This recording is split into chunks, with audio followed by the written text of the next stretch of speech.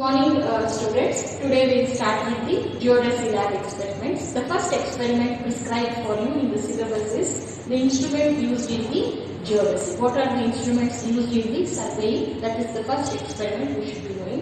We will start with the very conventional uh, instruments like chain and we will go up to total station. So chain is something very conventional instrument. Total station is a high hand instrument. Up till then we should be studying and we will be using all these instruments, various instruments in various different experiments. But first today we will understand what are the basic equipments involved in the survey. Those are chain, tape, arrows, ranging rod, plumb bob, cross staff, prismatic compass, dumpy level, leveling staff and shortening.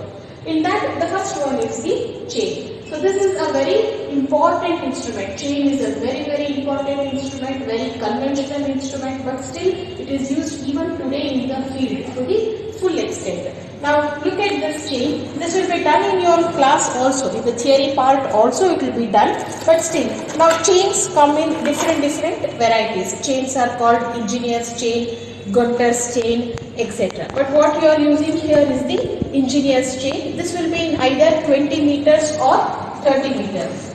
You will get it in 20 meter length or 30 meter length and chain we use for linear measurements or measuring the length. Now when you look at the chain, this is how the chain is.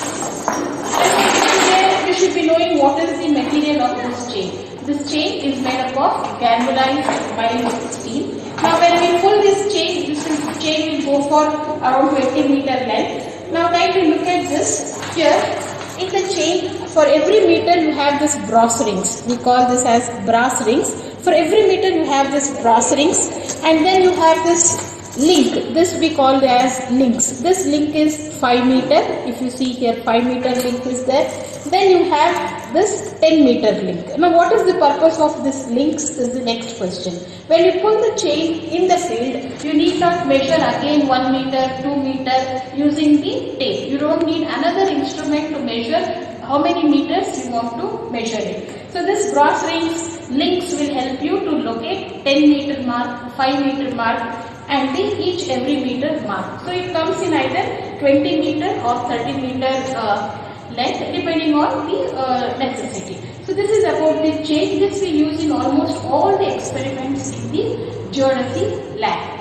Now the next very important and conventional instrument or the equipment is the tape. This is that tape. This steel tape is again uh, tape is made up of different varieties material. This is the cloth tape or you can call it as fiber tape. And there is one more tape. This you must have all seen. These are used uh, in the construction industry. This is the steel tape. Now these are the two types of tape. This uh, tape goes up to 5 meter. This steel tape goes up to 5 meter and if you see the graduations you have this graduations in the inches.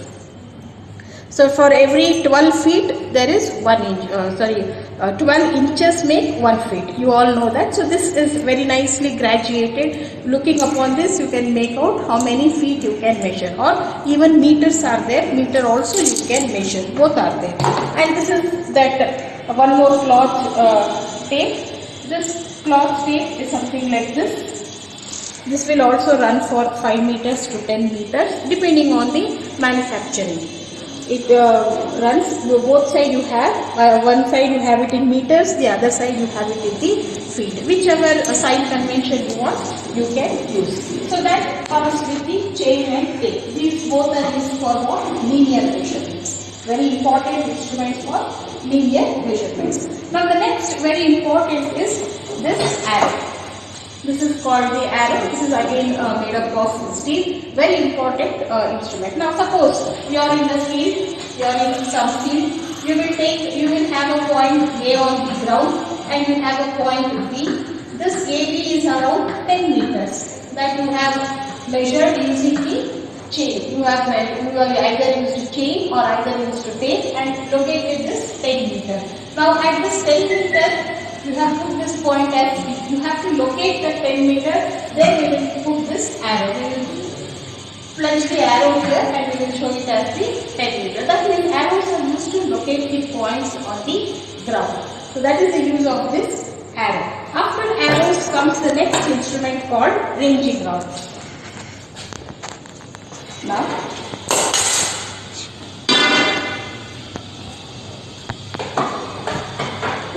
next uh, very important accessory uh, or the instrument you can call it in the uh, geodesy. This is uh, ranging rod. It is marked with white and black. It is marked with white and red depending on the manufacturer.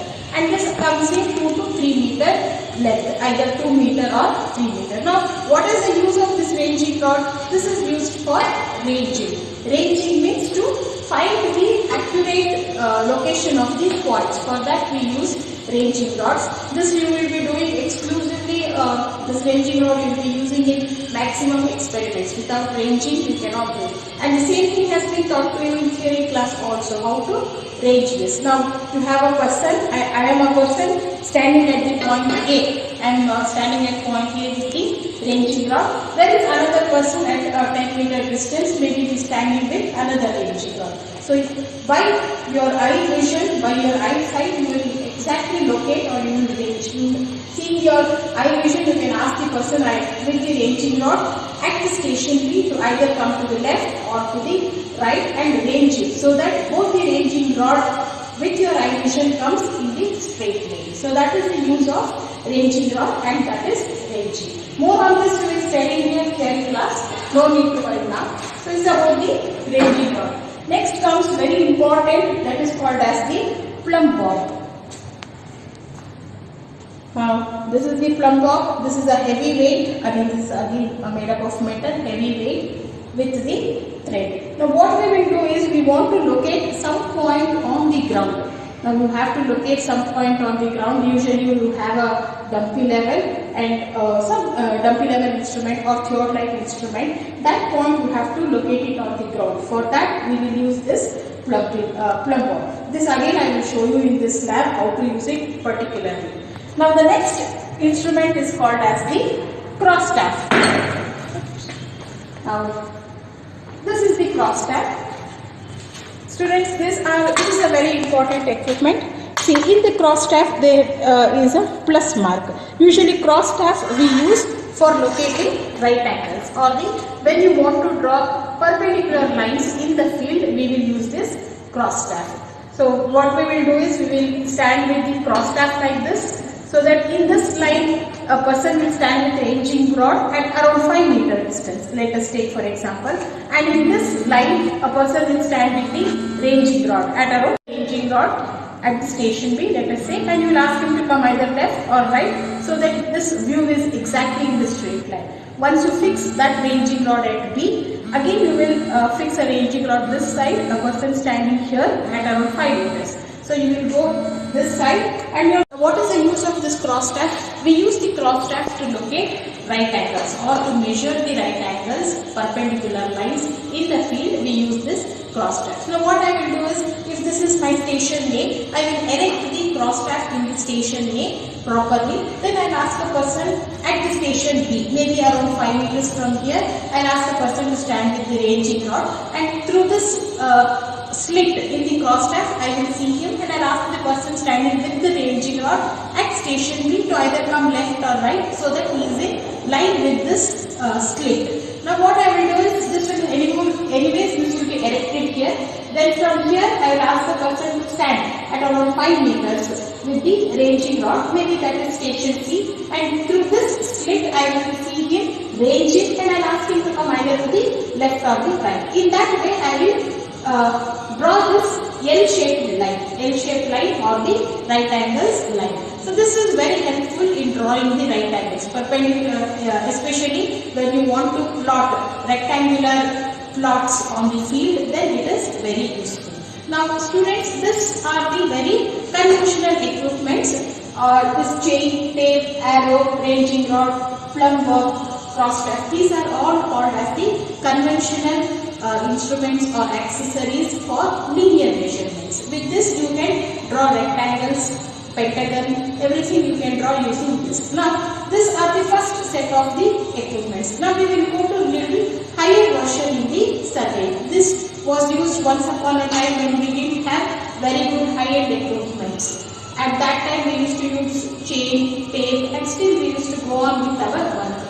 And as when the technology advanced, new new type of equipments started coming. So the first version of a new equipment which was developed, which was one step higher to all this conventional was the prismatic compass. Now, this is that prismatic compass. Kindly look here. This is the prismatic compass. This will be taught to you in your theory class, but still. Now, what is the use of this prismatic compass? You want to draw angles. Now, you all know there are uh, Plot size of rectangular plot size are there, pentagon shapes are there, and you have hexagonal shapes, etc., etc. Now, now when you have when you want to draw a rectangular side in the field, what you will do with your cross track only, you can do this rectangular thing. Now the next thing is when you want to put a plot of pentagon, some, some shape like this, pentagon shape or hexagon shape. How will you draw that is the next question. You are a surveying engineer, tomorrow you will be asked to build a building which is of pentagon shape or you are asked to build a building which is of hexagon shape. So how will you get that angles? Using cross staff, we can get of course 90 degree you can draw. Using your chain, tape and all you can draw 90 degree line and you can very nicely put a to pentagon shape or the hexagon shape will there will be the problems will arise at that point. So what we have to do is. For that, next higher version of surveying equipment came up and that was called as the prismatic compass. Now kindly look here, this prismatic compass is a circular compass and it is graduated from 0 degrees to 3, 360 degrees. Now what we will do is, there is, this is your